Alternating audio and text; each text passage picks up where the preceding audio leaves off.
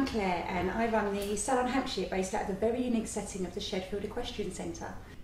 Now if you, like most of us, have a drawer, cupboard, possibly multiples of each, filled with product after product of potions and cream that promised you volume, shine, smooth hair, curly hair and a multitude of other things but have never delivered. Well that's because, and this is what they all fail to tell you, no product will ever deliver without your help. So, with that in mind, I'm going to show you some great and more importantly easy tips to give you the hair at home you've always wanted and I'm going to do it with the help of the amazing range of products from Milkshake. So nearly everyone is under the misconception that all the work when you wash your hair is being done by the conditioner. Quite the contrary, the shampoo is the key to vibrant, shiny hair. A conditioner's job is to detangle and close the cuticle. The shampoo is the magic that cleanses, nourishes and maintains good hair and scalp hydration. So if you're only able to invest in one professional product, make sure it's a fantastic shampoo. Today we are going to use the Milkshake Colour Maintain shampoo and conditioner.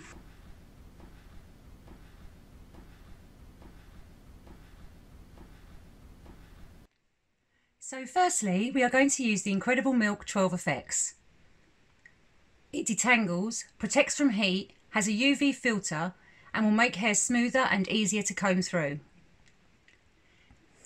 Priced at $16.49 and with the new Go Pink hair campaign, £1 from every product sold goes to breast cancer awareness. Hair is at its weakest when wet, so you want to treat it delicately. On longer hair, say past the shoulders, start combing at the bottom and work your way up using a wider tooth comb or a paddle brush. Now with all the milkshake products, you don't need to use a lot. They are highly concentrated. Also, try and stay away from the roots. The first inch or two requires little, if any, hydration. Then you want to rough dry the hair off a bit. Before you even pick up a brush, you want it at least 50% dry, with the exception of your fringe. This not only cuts down on time, but is better for the hair, Remember, the wetter the hair, the more delicate it is, so it really only needs to be damp. Always keep the dryer moving. You don't want to burn the hair, the scalp, or even your fingers.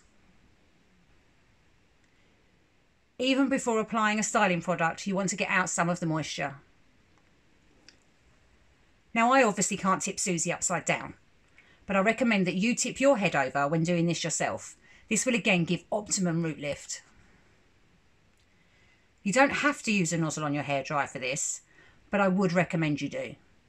It creates a more direct heat and will actually dry your hair quicker. In fact, you would always ideally use a nozzle. It may take a little bit of practice to work with it, but once you have the knack of it, it will save you lots of time and it will give you the best results. You want to work with the hair shaft to create smoothness and shine and against the hair shaft to create volume. When you've taken out some of the moisture, separate your parting and dry off your fringe if you have one.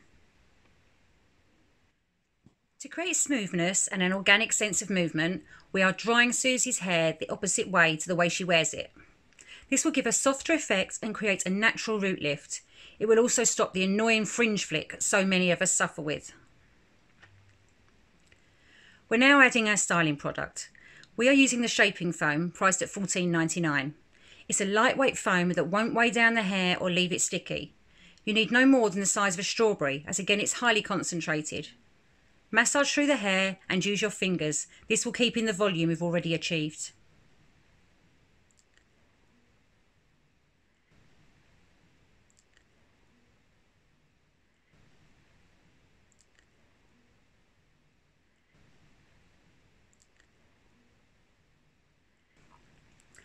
Now you want to rough dry off a bit more. This time concentrating on the roots. Really massage and manipulate them. Pull them away from the scalp and use the dryer to blow upwards to create a maximum volume. Remember, it's easier to take volume out than to put it in once hair is dry.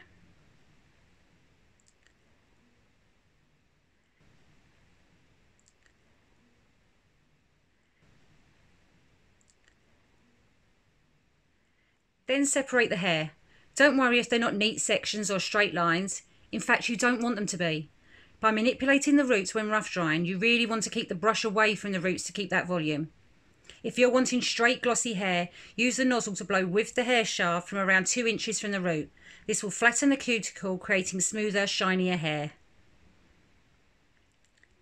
Use the hairdryer to do the work. By blowing against the natural fall and using the cold option, even better if you have a cold shot button, you can create maximum root lift. This is done by heating and then cooling the hair very quickly. At this point, we still want to concentrate on getting lift in those roots. Again, don't forget to keep the dryer moving constantly. You don't want to burn the hair as this will create static. But by using a good styling product, static should be kept at a minimum anyway. And don't worry about the hair that blows up.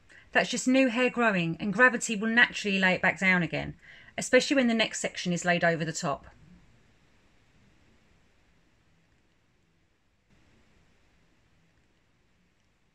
If you want to create a wave, the easiest way at home is with a tool designed specifically for the task, but you still want to start the ball rolling. So using the brush, just gently twist and dry so the shape is already put in. This will make it easier to maintain the body that is often lost when using tongs and straighteners. Again, don't worry about neat sections and straight lines. You want to create a non-conformity that leaves a soft beach effect where the waves interlock and fall gently. Use a brush size that enables you to get one good turn of the hair. Any smaller and you run the risk of entanglement. Better slightly too big than too small. And don't forget to keep using the hot cold method. This really is your best weapon when doing your own hair.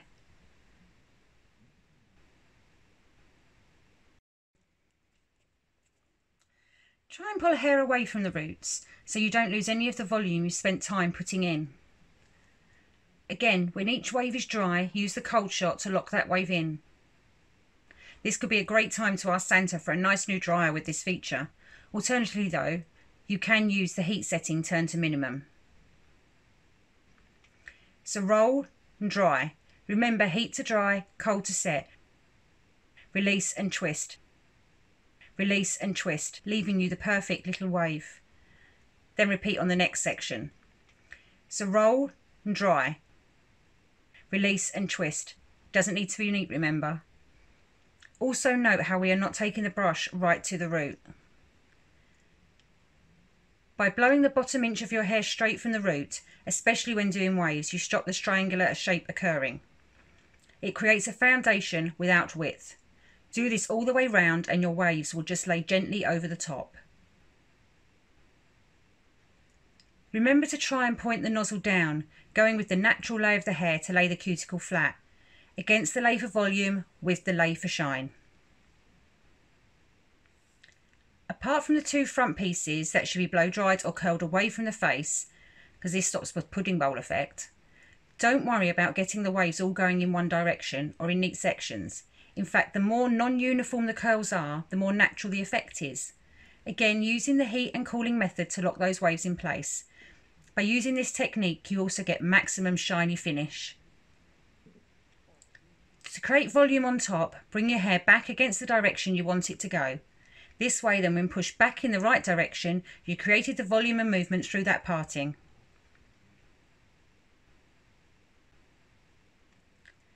Then use your fingers and the dryer to mess it up a bit. Naturally moving hair will always look better. We all want hair that swishes and is not stuck to our heads. This also helps with the single most important rule when drying your hair. Make sure, and honestly I cannot stress this enough, make sure your hair is 100% dry. The slightest bit of dampness left will undo all the hard work you've put in. You do not want everything you've done to have been for nothing.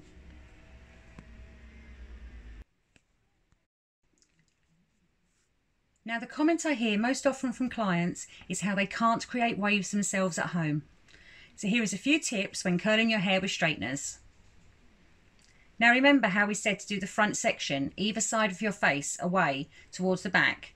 That is honestly the only real rule. You'll find this will give a softer line and make cheekbones more pronounced. When doing any of the waves, you only need to start halfway down the hair. You don't want to go near the roots at all. No one wants to look like they're wearing a crash helmet, and by staying away from the roots, you prevent this from happening. Then just roll and twist. It does not matter if your waves are going in different directions you want them to. That way, when you run your fingers through, or even better, just slip your fingers into the hair near the scalp and shake.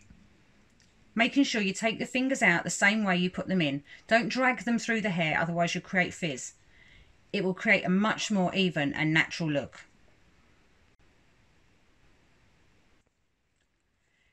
Then you can apply serum or spray.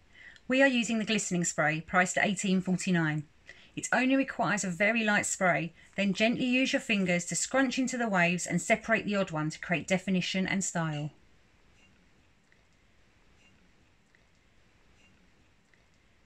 You then want to hold all your good work in place. We are using the Stronghold hairspray, priced at $14.99. Gently spray at a distance of at least 6 inches. Use the spray in your fingers to scrunch your waves into place. This again gives a much more natural effect. A great trick is spray your hand and gently run over the top. That gets rid of any of the little flyaway bits we all get. Then just a final light spray over the head, letting the spray just softly fall over the hair will hold it in place without leaving a sticky residue. And to finish, a glossifying spray. Let It Shine, priced at $18.99, is my go-to product. Shiny hair always looks healthier and more polished just lightly across the mid-lengths and ends, and there you are. In less than 15 minutes, a blow dry that looks like you've stepped out of the salon every day. Minimal time, minimal effort.